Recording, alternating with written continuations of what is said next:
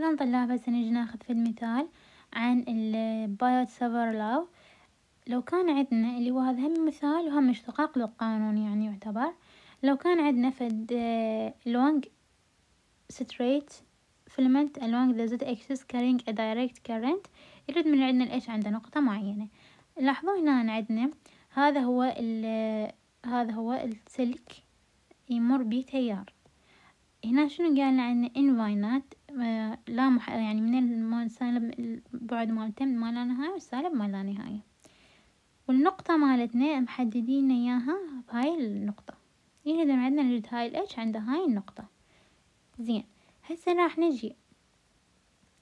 أول شي نحدده اللي هو شنو عندنا. إحنا قلنا ناخذ تكامل ما راح ناخذ السلك كله راح ناخذ جزء من السلك.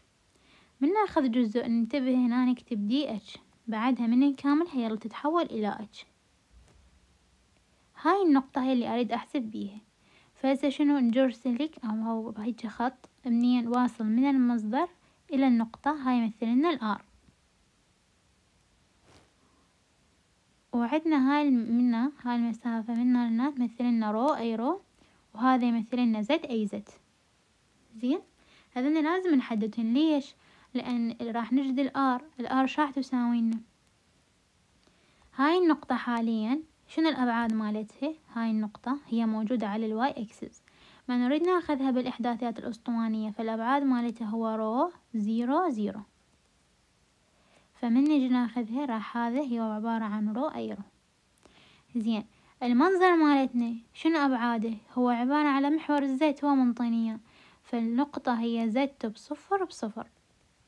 فصار عندنا هاي النقطة هاي ناقص هاي النقطة راح نستخرج ال R من الواحد إلى اثنين. فال R راح تكون ال rho ناقصا العفو هاي مو z مو راح ناخذها بهذا الشكل يعني اللي هي zero ب zero ب zero ب z. زين فش راح يصير عندنا؟ rho ناقص صفر راح تنزل عندنا rho a rho. صفر ناقص صفر ما راح ينزل وعندنا صفر ناقص z راح ينزل عندنا سالب z باتجاه ال a z بعدها إيش راح يكون عندنا ال a R ال a R قلنا شنو قانونه؟ هو عبارة عن الار كفكتر على الار ك magnitude. الار كفكتر هو هاي القيمة نفسها. كماجنتيود هو تحت الجذر rho تربيع زائدا z تربيع. زين. بعد شنو نحتاج بالقانون؟ نحتاج آه ال dL ال dL اللي هو المو... اللي نستخرجه من خلال موقع السلك. السلك حاليا موجود على محور ال z اذا هو dz باتجاه ال az. نيجي القانون مثل ما هو نضعه. نكامل الآتي ال I dL راح يكون الموجودات لأن إحنا المسار مالتنا حاليا سلك. مكان ال aR راح نضع هاي القيمة. ولا ننسى قبل شوي وضحت لكم إنه من نقسم ال R من نضع ال aR نضع مكانه هذا.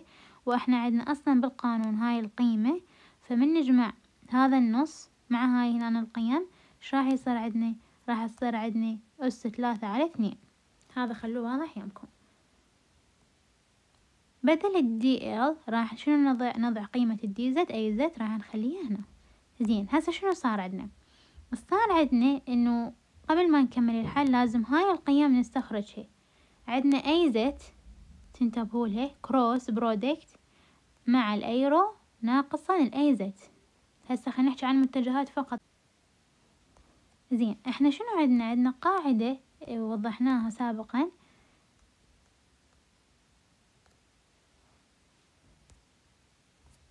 عندنا قاعدة وضحناها سابقا اللي هي هاي القاعدة خاصة بال cross product هاي القاعدة.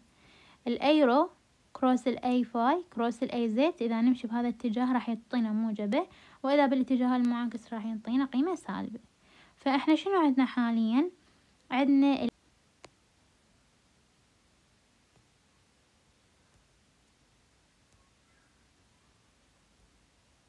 فإحنا شنو عندنا حاليا؟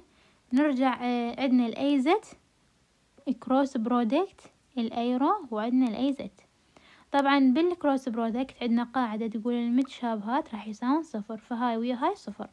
راح يبقى عندنا شنو؟ az cross ال a rho شنو النتيجة مالتها؟ az cross ال a rho راح تنطينا ال a phi من خلال الشكل اللي وضحناه سابقا. زين. هسه حددنا الاتجاه. هذا كل القيم شنو راح تبقى من عندها؟ هاي راح تساوي صفر. هاي حاصل ال cross product طلعت a rho ال rho هنا راح تنزل وال I راح ينزل. هسه طلاب عندنا ال I وال rho ذني نزلن. dz موجودة وال a phi موجودة. نجي إلما نجي جزء المقام. حاليا إحنا التكامل مالتنا إلما لل dz منين لمنين؟ من السالب ما لا نهاية للموجب ما لا نهاية الشغلة اللي تخص ال z راح تبقى داخل التكامل وال, والما تخصها راح تطلع برا تعتبر constant ال I وال rho وال four pi ذني كلهم constant نطلعهم لبرا. يبقى عندنا فقط هذا الجزء. هذا راح نحله بالتعويض. تقدرون تحلوا باستخدام أحد طرق الرياضيات. فبعد ما نحله بالتعويض النتيجة شنو راح تكون عندنا؟ النتيجة راح تكون عندنا التيار هو I two pi rho a phi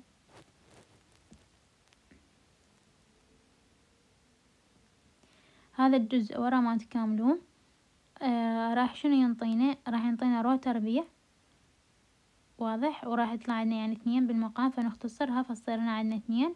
وال rho تربيع ومنا rho راح تبقى عندنا rho بال آه بالمقام. يعني هذا شغل رياضيات. فإذا هذا القانون شو وقت نستخدمه؟ نستخدمه إذا كان عندنا آه قانون اللي هو آه تيار موجود وين؟ على الزد اكسس والنقطة موجودة بهذا المكان حيث الاتجاه هسه حاليا إذا تلاحظون طلاب وإذا نطبق قاعدة اليد اليمنى حاليا الإبهام وين راح يكون؟ يكون بهذا الجهة. زين؟ والنقطة هاي هنا فمن نلف الأصابع لفة الأصابع راح تكون باتجاه ال rho. هذا يشبه شنو؟ يشبه قانون ال E تساوي لنا ال rho L على two pi. rho؟ a rho؟ اللي هو خاص بال electric field يعني نفسه تقريبا.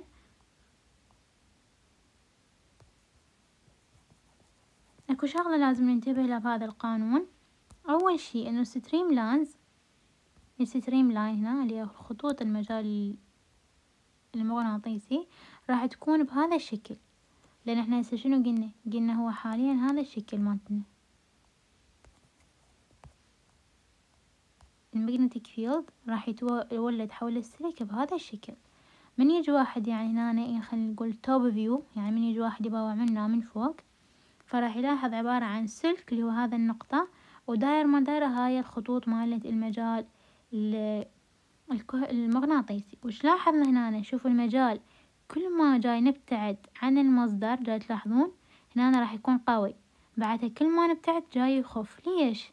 قلنا لأنه ال H راح تتناسب عكسيا مع مربع المساحة هاي اللي اللي طرقناه لأول شي لهذا راح تدريجيا تقل شدة المجال المغناطيسي. يعني تكون قوية عنده مصدر الشحنة وكل ما نبتعد عنها بالمساحة راح شنو؟ راح تقل لأن